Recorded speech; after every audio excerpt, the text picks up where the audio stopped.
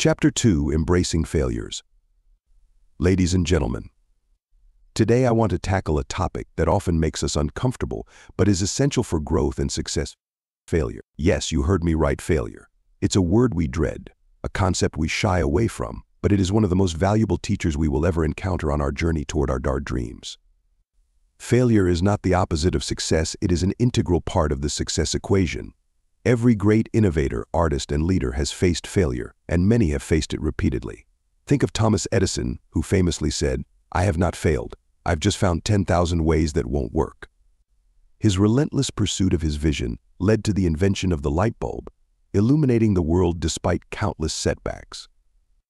But why do we fear failure so much? It's not the act of failing itself that frightens us, it's the way we perceive it. We equate failure with our self-worth, as if our mistakes define who we are. But let me remind you failing at something doesn't make you a failure. It makes you human. It's a part of the learning process, an opportunity to grow, adapt, and emerge stronger. Every time you stumble, you gain lessons that success simply cannot teach you.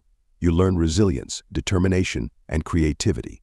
These are the qualities that build character and prepare you to tackle future challenges head-on.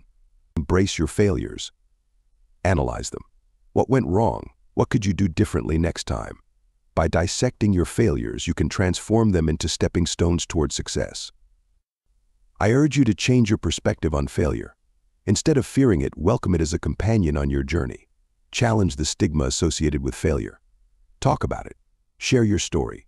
You'll find that you are not alone, that others have walked the same path and emerged stronger. Together, we can create a culture that celebrates growth through failure.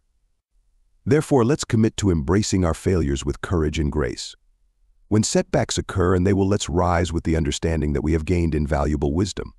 Let's remind ourselves that it is not the failing that defines us but how we respond to it. Remember, the road to success is a winding one, filled with bumps and detours. So take that leap, embrace the challenges, and allow yourself the grace to fail, learn, and grow.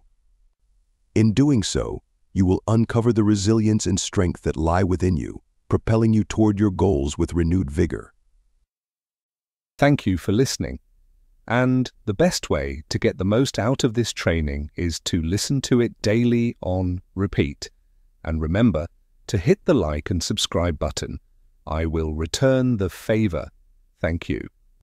And if you are looking for another video to watch, I encourage you to check out our selection of content focused on personal growth and development. Each video is designed to provide you with actionable insights, inspiring stories, and practical tools to help you on your journey to becoming the best version of yourself.